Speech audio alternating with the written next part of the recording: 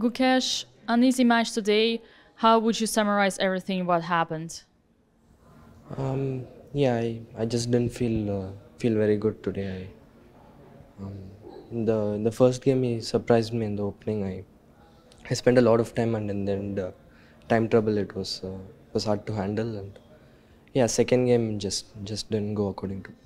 You had two knights while your opponent had two bishops. It's a well-known fact that knights are better than bishops in blitz game. Do you believe so?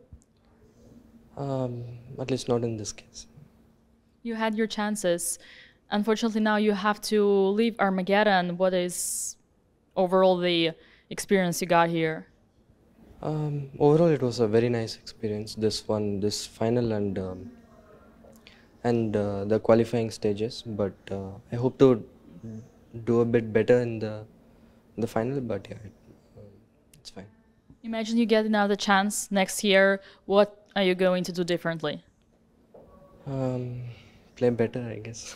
One of the main differences of this tournament that makes it so unique is that you have a mix of top world's women chess players playing with the top best players in the world. Do you have an eye on this? What is it like to have this mixed format? Um, yeah, I think it's good for the game. Uh, yeah, women get more exposure, and it's always nice to um, see different players in tournaments. And uh, uh, and yeah, here we had very um, two very strong players. Hampi, ma'am, an Indian legend, and Bibisara, two times World Blitz champion. So yeah, it was nice to see that. Let's say if you were to be matched against Hampi or Sarah, would your chances be higher?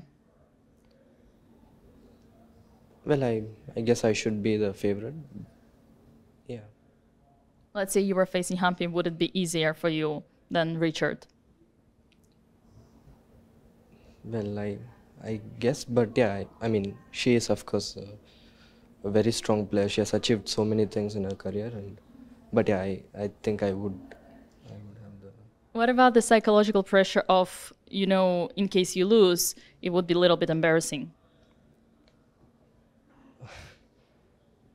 Um you're you were free to disagree. yeah I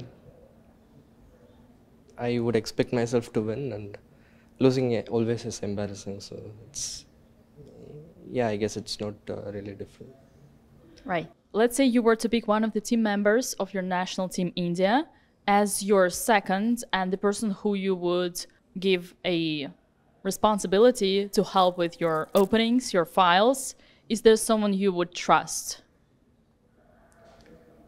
Um, if I, from a purely professional point of view, Vidit is a opening expert, so that would be uh, good. But I have a more uh, closer relationship with uh, Arjun, so um, I think I would pick Arjun. There is this meme in ChessBase. I'm looking for your comments here.